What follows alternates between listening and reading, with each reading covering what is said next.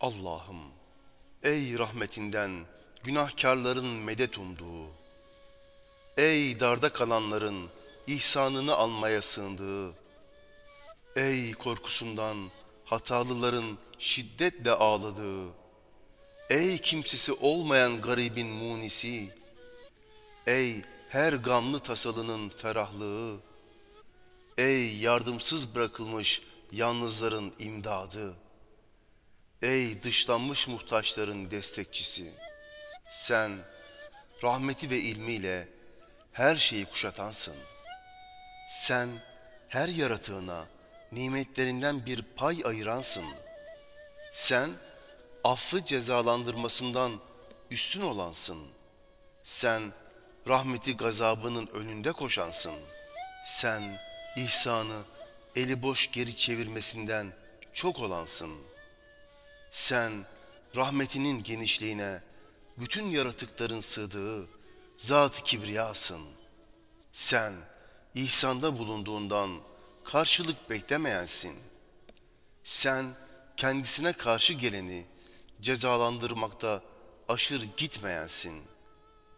Ben ise ey Rabbim çağrına icabet ettim.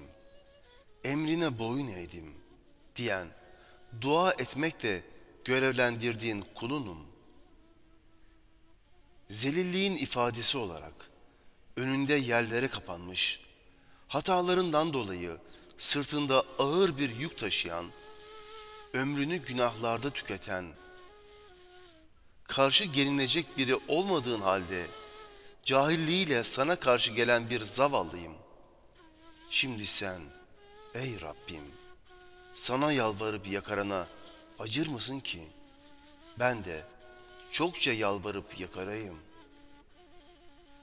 Veya sen korkundan ağlayanı bağışlar mısın ki ben de hemen ağlayayım? Ya da sen zelilce yüzünü toprağa sürenin hatalarını affeder misin? Yahut sen sana güvenerek fakirliğinden sana yakınını zenginleştirir misin?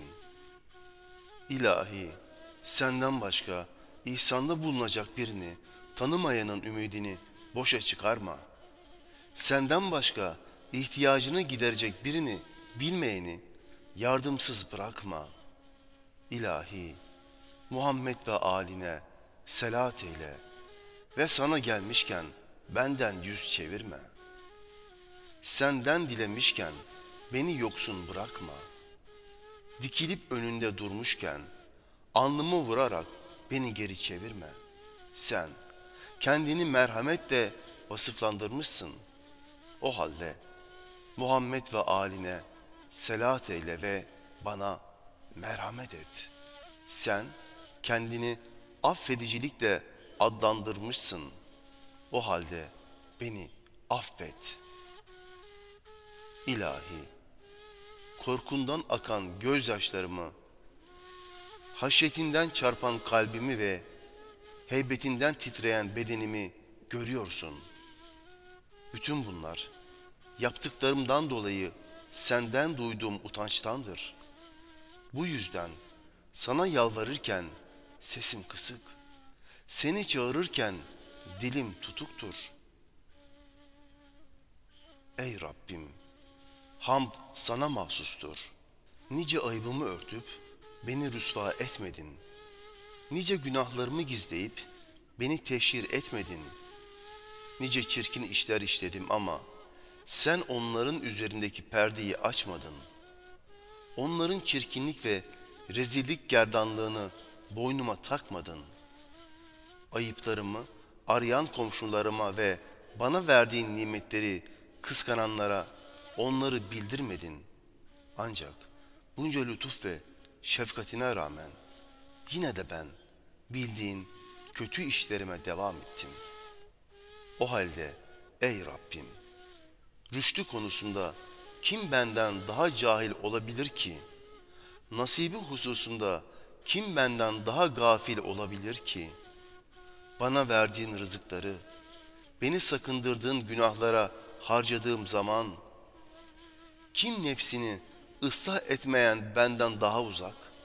Senin davetinle şeytanın daveti arasında kalıp da şeytanı tanımakta kör olmadığım, ondan bildiğimi unutmadığım halde senin davetinin sonunun cennet, onun davetinin sonunun cehennem olduğunu bilerek onun davetine uyduğum zaman benden daha çok batıla dalan, kötülüğe girişen kim olabilir? Pak ve münezzehsin sen. Kendi aleyhime tanıklık ettiğim hususlar, açığa vurduğum gizlilikler ne kadar ilginç. Ancak benim böyle olmama rağmen senin bana karşı böyle yumuşak olman, beni hemen cezalandırmaman daha da ilginç. Ne var ki bu benim senin katındaki değerimden değil, gazabını gerektiren günahlardan vazgeçmem, aşağılayıcı kötü huylarımdan sıyrılmam için senin bana tanıdığın bir fırsat ve bana ihsan ettiğin bir lütuftur. Bir de beni affetmek, beni cezalandırmaktan daha sevimlidir sana. Benim ise ey Rabbim, günahlarım o kadar çok, eserlerim o kadar çirkin, fiillerim o kadar kötü, batıla dalışım o kadar pervasızca, itaatin hususunda o kadar bilinçsiz, azap vaadinin karşısında o kadar umursamazım ki, ayıplarımı saymaktan, günahlarımı söylemekten bile acizim. Ancak günahların durumu düzeltecek şefkatine göz dikerek, hataların boynunu masiyet köleliğinden kurtaracak rahmetini ümit ederek, bu sözlerle kendimi kınamaktayım. Allah'ım işte boynum, günahların kölesi olmuş. O halde Muhammed ve aline selat eyle ve günahlarımı affederek beni bu kölelikten kurtar. Ve işte sırtım hataların ağırlığı altında ezilmiş. O halde Muhammed ve aline selat eyle ve lütfu kereminle yükümü hafiflet.